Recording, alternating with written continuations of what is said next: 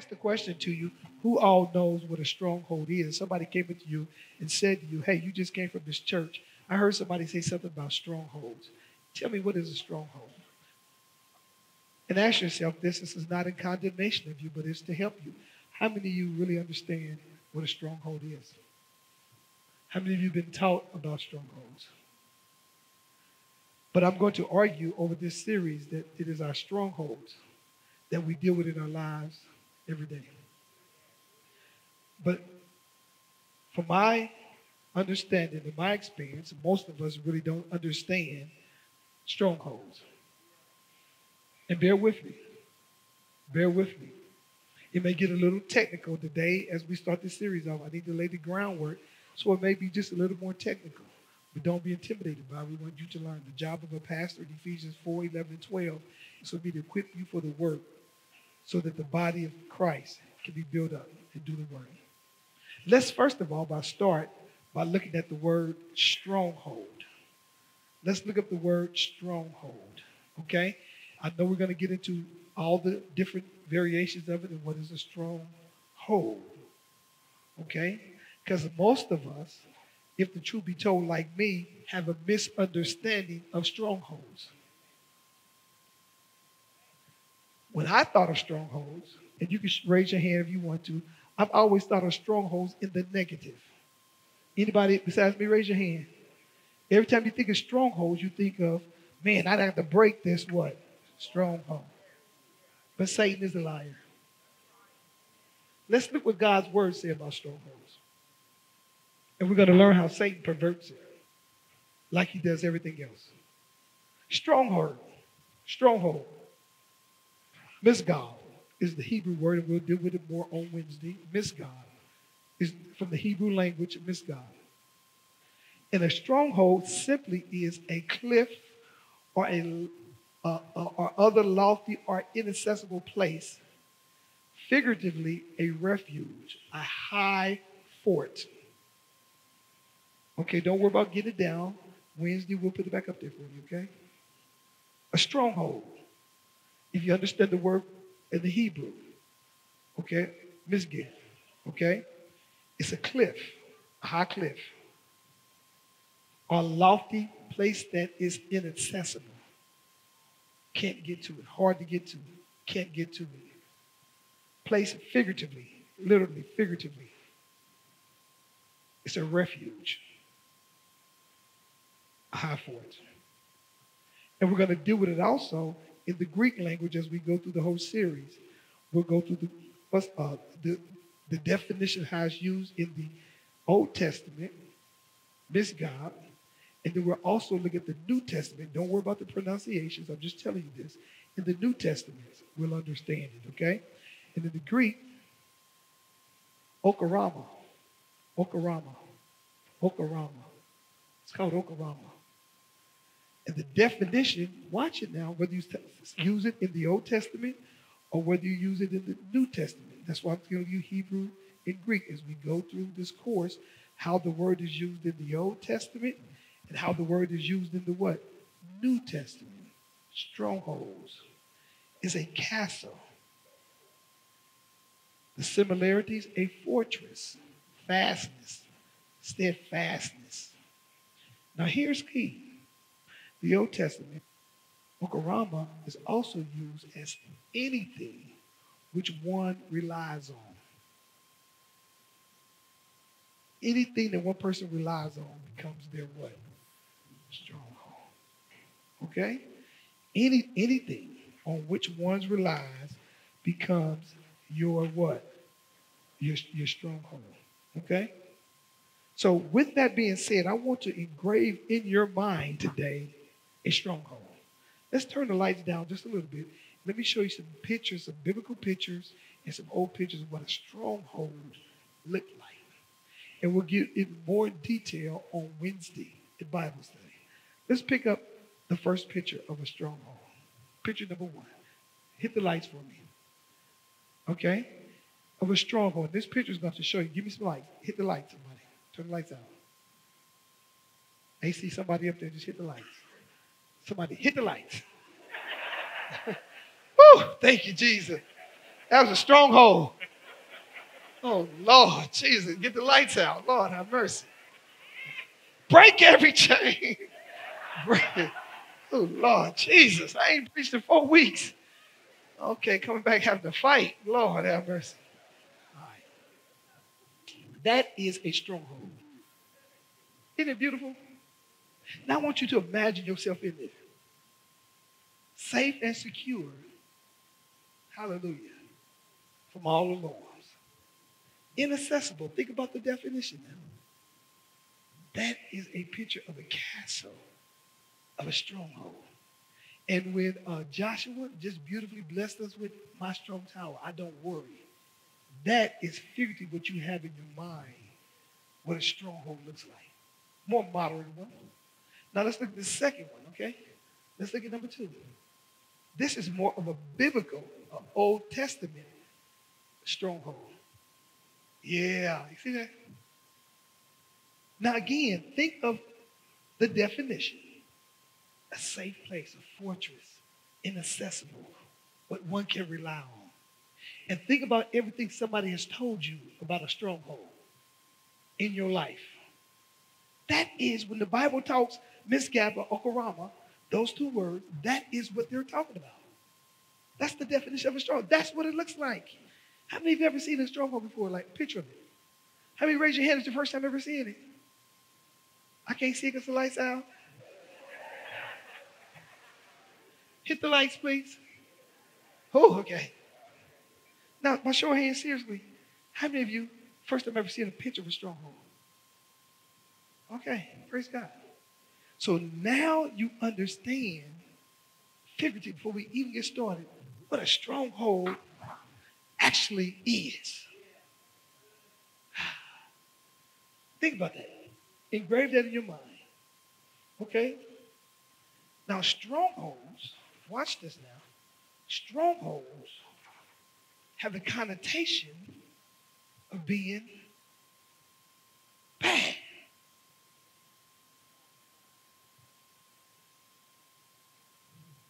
Try it again. Let's put that second picture up with the lights out.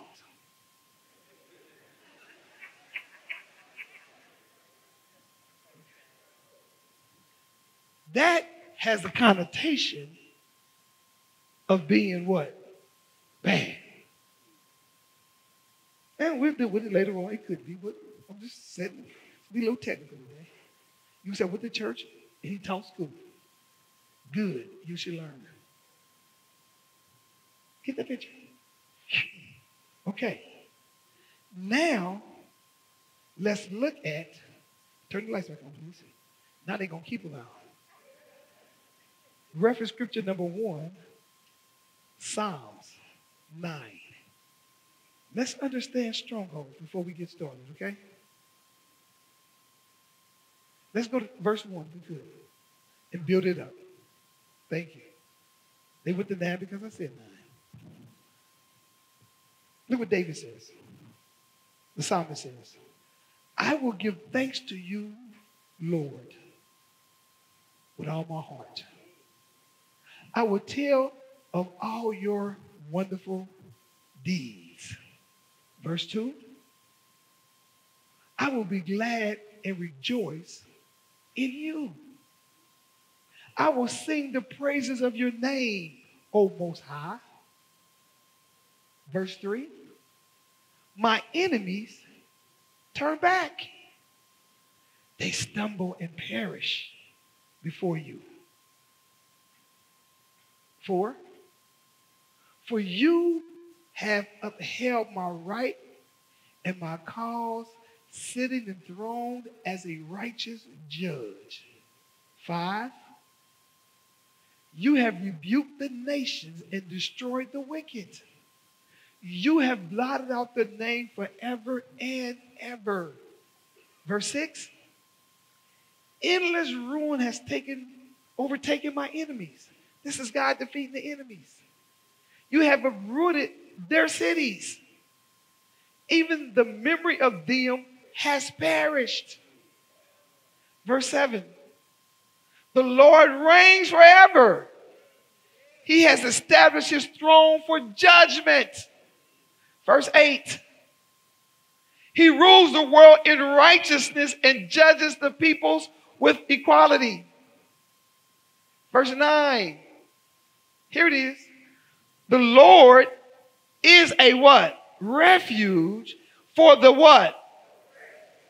A stronghold in times of trouble. So tell me, in the origin of the word, why did strongholds become negative?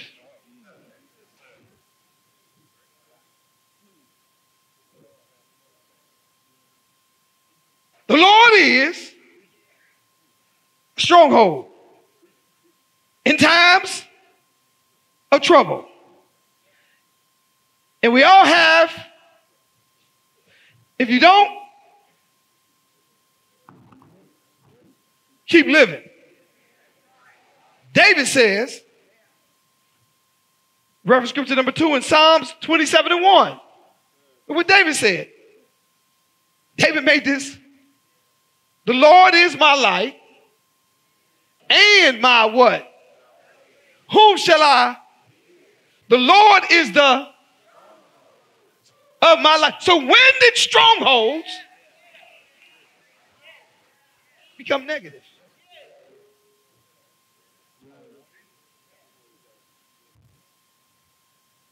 Put it back up if you would. Stronghold of my life. David is really flexing. Like we're going to flex on the Eagles next week.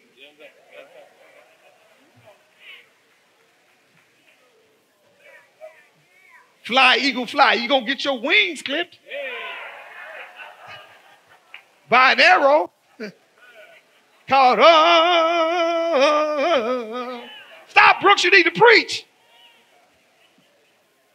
David says, The Lord is my stronghold. So I ask you, how did strongholds understand the origin?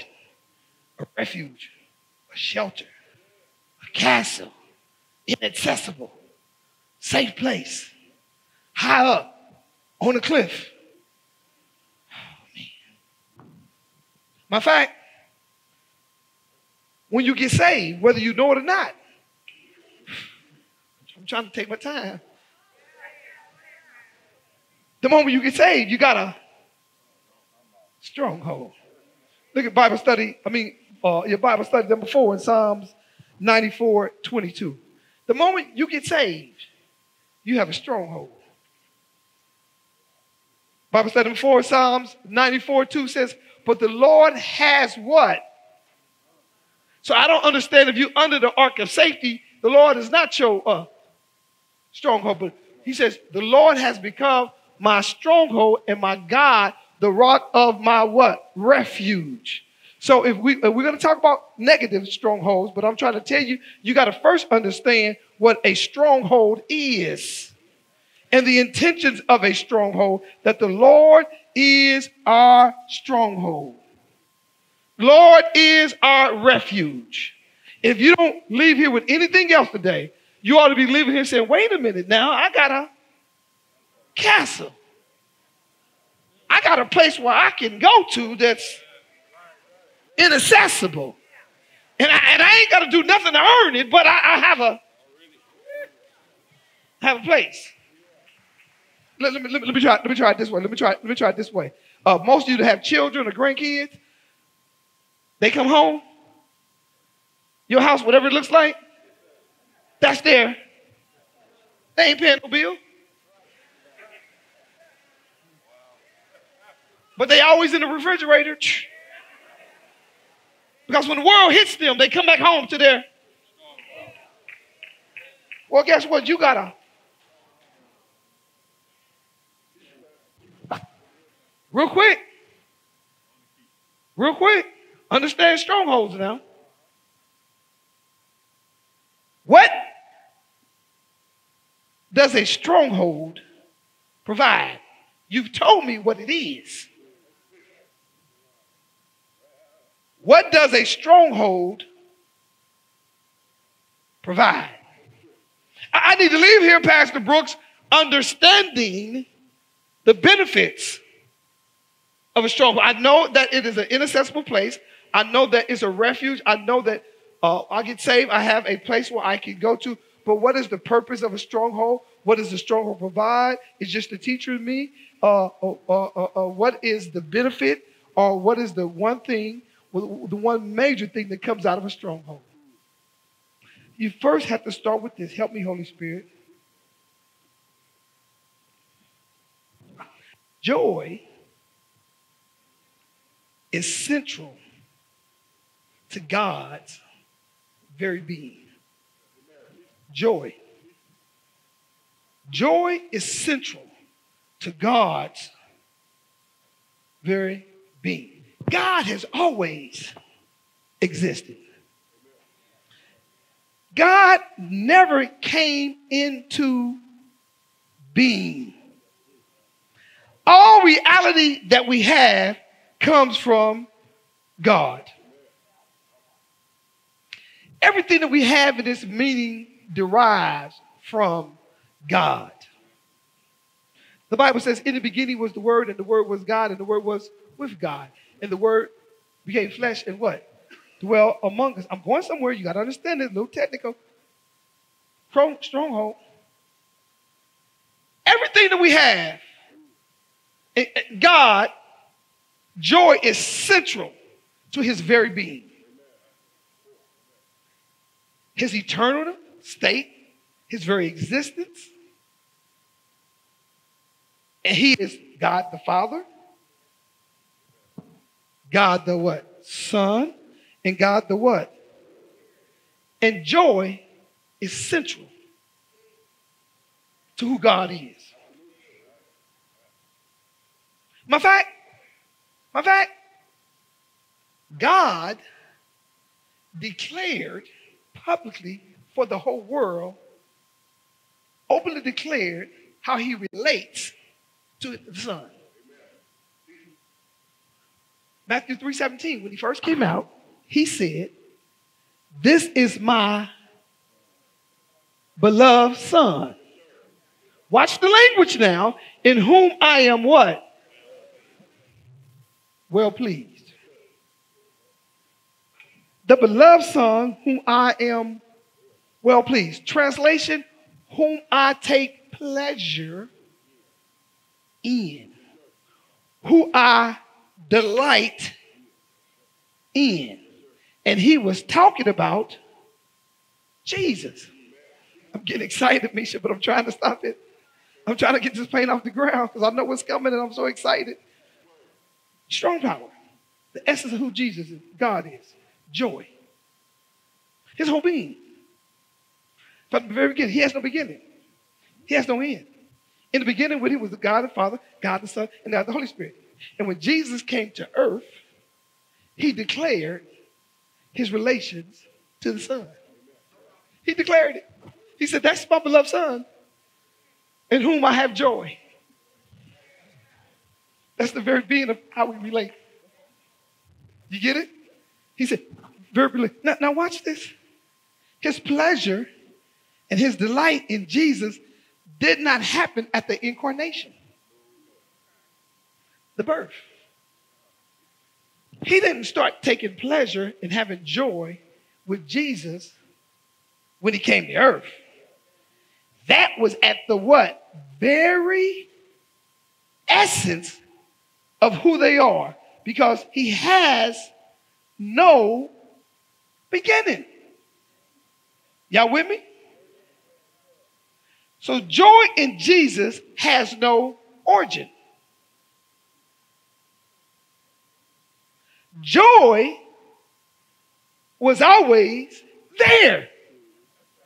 Delight, pleasure, synonyms for joy. Whom I'm well pleased. Joy. You got, you got it, Mac. Who I'm well pleased. It has always been. Has always been. Now, we, John Rodriguez, are saved through Jesus. Our salvation comes through Jesus. Our salvation comes from and through Jesus. We are reconciled to God through Jesus. So, the most comprehensive description of our lives for every Christian, the most comprehensive description of every Christian's life should be to glorify God. Y'all following me? God, the whole essence, the whole essence, his very being is joy. His relations with the Father, the Son, the Holy Spirit has always been pleasure, delight, joy. We are connected to the Father through Jesus, in whom God has joy. So our very essence and our very being of our lives should be to what? Glorify God. Let's look at reference scripture number five. 1 Corinthians 10 31. 1 Corinthians 10 31.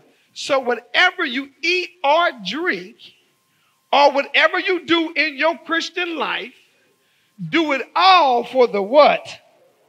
Glory of God. So the whole comprehensive description of a Christian life should be to glorify God in even what you drink, what you wear, how you act, how you react, how you sing, how you preach, where you live. Everything should be to glorify God. Walk with me, somebody. I hope God is revealing this to you. Everything because the Father and the Son has always been in relationship with each other with delight, and God brings us to him. No one comes to the Father but through Jesus. And Jesus says, boom, says, I'm bringing you to the Father. Your very being of everything you do in your life should be to glorify God. Woo! God is most glorified in us when we are most satisfied in Him. Y'all, y'all missing it?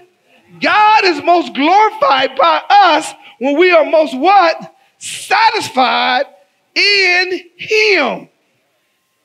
Everything we do should flow, don't you cry, Brooks, from a heart that has found ultimate joy. You missed it, you missed it. Everything we do, everything we do should flow from a heart that has found ultimate joy. Ultimate joy. I, I don't care what happens, our whole life to glorify God. That's our challenge. That's our responsibility.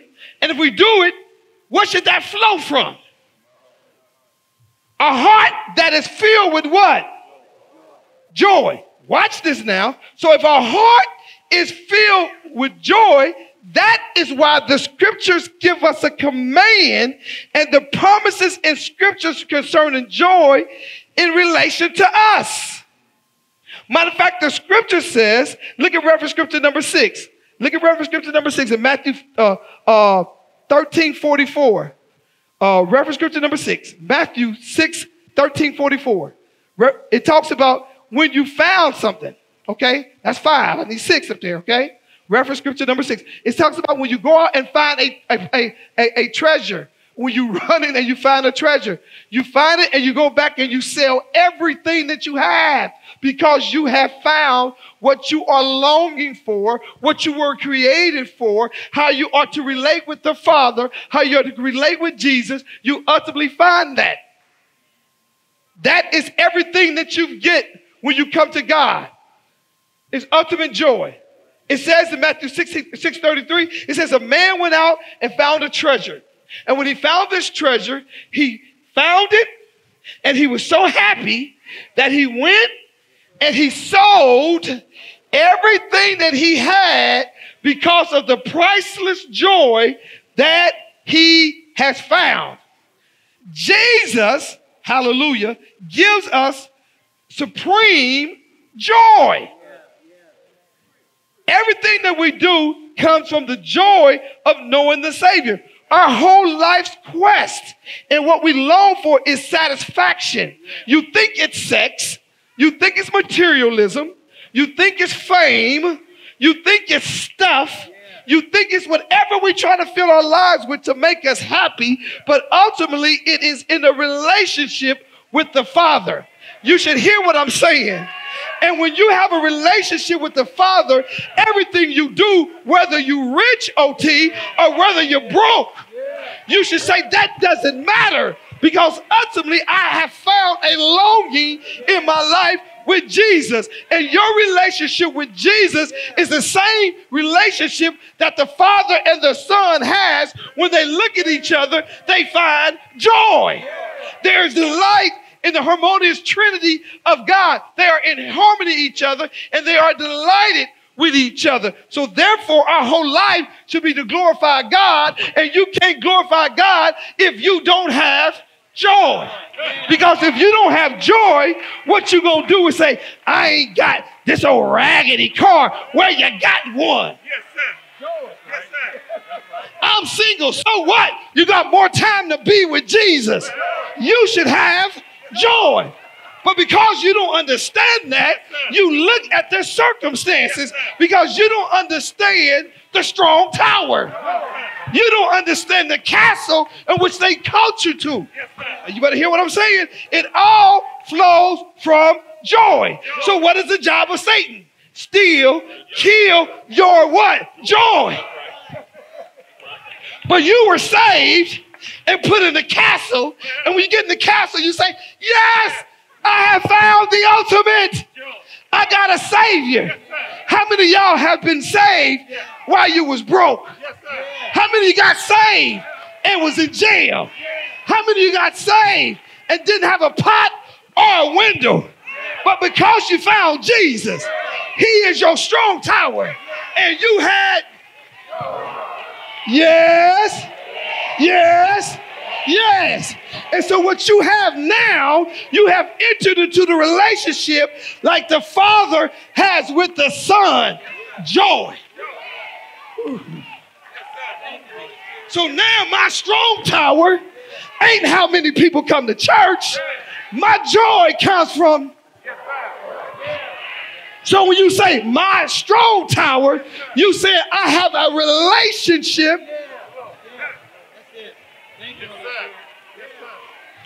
Talk to me quick. Talk to me quick.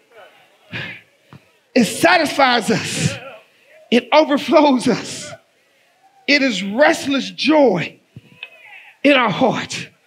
I used to sing a song, Debbie, at college. I got the joy, joy, joy, joy down in my heart. Then I leave out the window and I go to school. I drive down the highway and somebody give me the birds. And I allow them to steal my joy. I forgot that I got residency.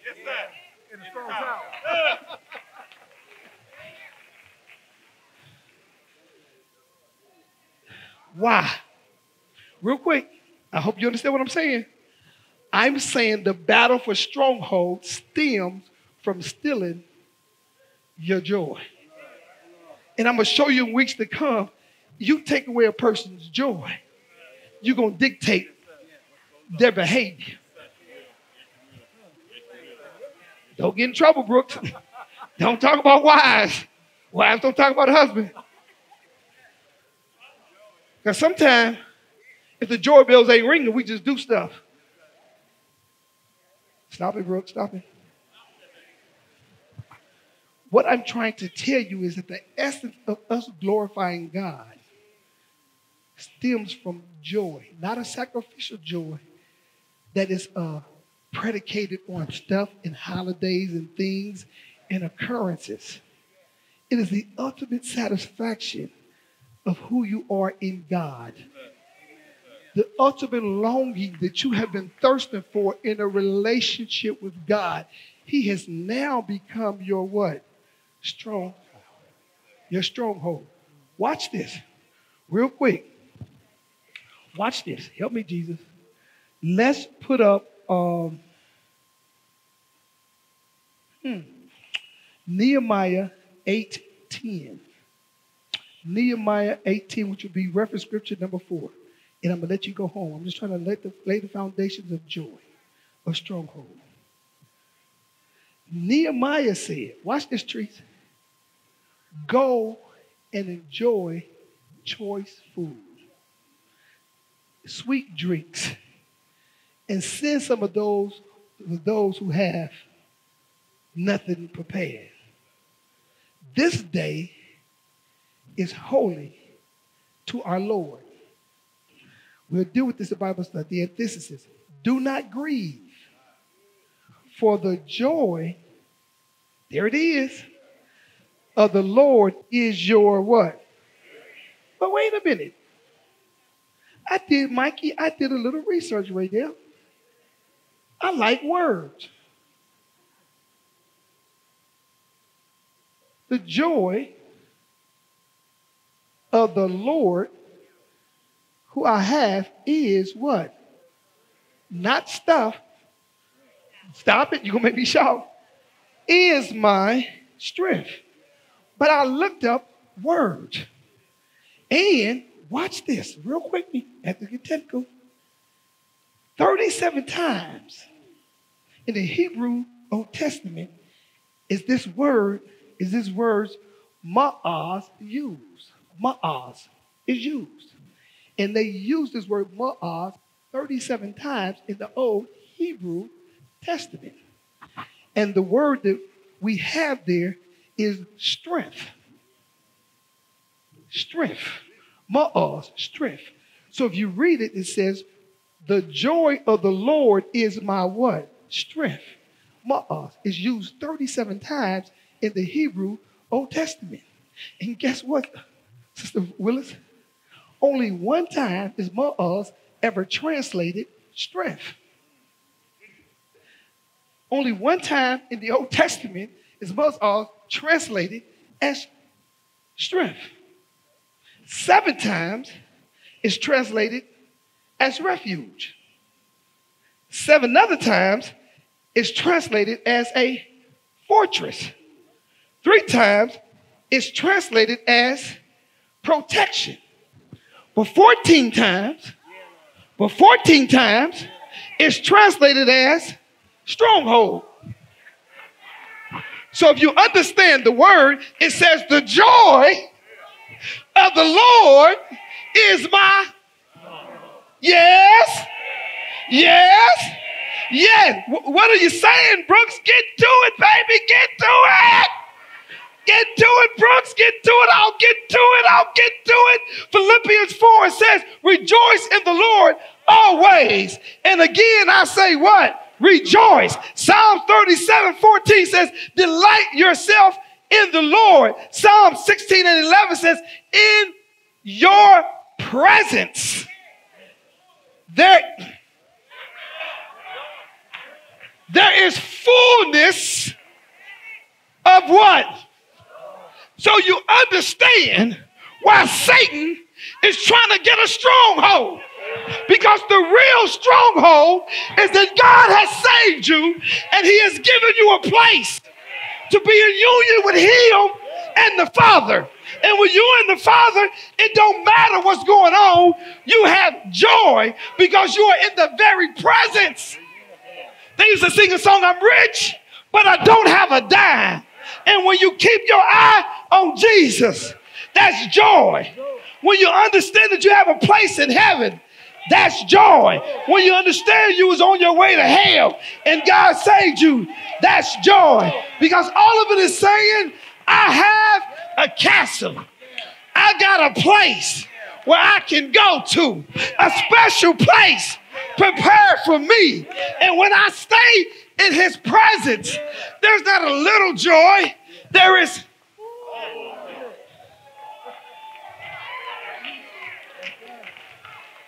There's fullness. There's fullness. But the problem, but the problem is we're running away from the stronghold. We're running to the wrong stronghold. And Satan says, I got to get him. Because if they stay close to God, He's got them. If they stay close to God, they'll have joy. Even though they get sick, they'll have joy. Even though they get divorced, they'll have joy. Even though they lose their job, they have joy because God has a stronghold. But if I can get them out, the stronghold, and get them into my stronghold, they will not have the fullness of joy. They'll come to church frowning. Yes, yes, yes. So, what am I saying? I'm saying those of you today who don't know it, who know Jesus Christ as your Savior, and when trouble comes, put on your shoes, run, run back home. Where am I running? To my stronghold. Where's my strong tower? I don't worry. I can go to the rock of my salvation. The storm that the builders rejected. Yes, yes, the joy of the Lord. They call you in tomorrow. We have to lay you off. You said, I got to run. I got to run now. Where you going? I got to go home. Where you live, at least somebody, I ain't talking about that house. I'm talking about my strong tower. I'm talking about my stronghold. I got a place where I can go to. And if I get close to him, there's going to be fullness. Yes. Yes. Yes. What is a stronghold? A stronghold, Terry Neal, is a go to. What is a go to? I'll tell you what a go to is. I grew up when the Lakers had Showtime. They had Magic.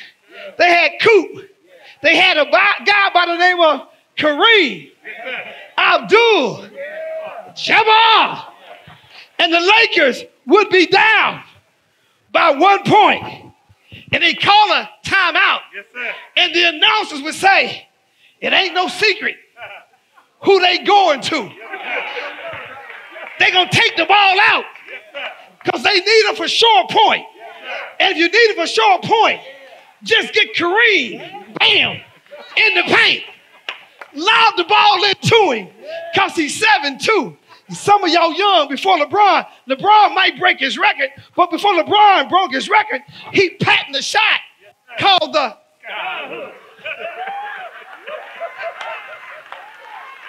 And they would say, Magic, if you just get the ball to Kareem, we can win the game. And Magic would be like, and, and Kareem, he went too old. He didn't run, he would just walk. Just like God, he would just walk. And he would get to his point. And they were surrounded by me. And he said, Don't make no difference. Just throw it up. And they would just throw it up to Kareem. And he'd jump in to get it. Five, four, three, two, one, and my stronghold is my go-to. Yes, yes, yes. All of us got a go-to. And the go-to is really a stronghold. It's something that's saying is that when I need something, talk to me somebody. Talk to me somebody. Oh, I'm gonna get out of here. But I've been watching sports all my life. And when you wanted something, you went to your stronghold. You know what? I love my mama. Her name is Ruby Jean Brooks. But when storms hit, I can't go to her sometimes. Yes, yes, yes. I love y'all. But there's sometimes I can't go to y'all. I go to my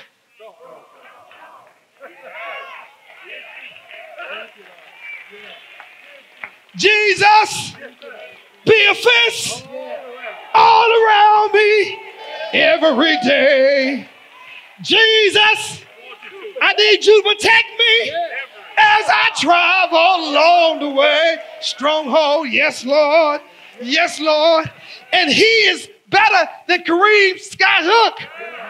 He may not come when you want him, but he's always right on time. David said, I was once young, But now I'm old, and I've never seen the righteous forsaken, nor his seed begging bread. Why? Because stronghold, baby. Yes, yes, yes. Have a little talk with. Tell him all about our trouble. He is a stronghold. He says, I got you. And the old folk, when they get into the house, they said, I yeah. gotta feel it. Everything. Everything gonna be all right. And those who don't know, they would just shout, The joy of the Lord. You gotta understand what a stronghold does. A stronghold puts you in the presence of the Almighty. Regardless of what's going on, you got a tower, you got a castle, you got a savior. And watch this now get out of here. Even when you mess up, even when you jack up, even when you get high, even when you fall from grace, and everybody else treating you like dirt, and they running your name through the mud, and those who said they was with you is starting rumors all around the church. Baby, go to your stronghold. Go to your stronghold. They said, wait. Somebody here today. And I'm going to show you throughout scriptures. And when you got that, you got joy. You got joy. Yes. I used to love the Lakers, baby.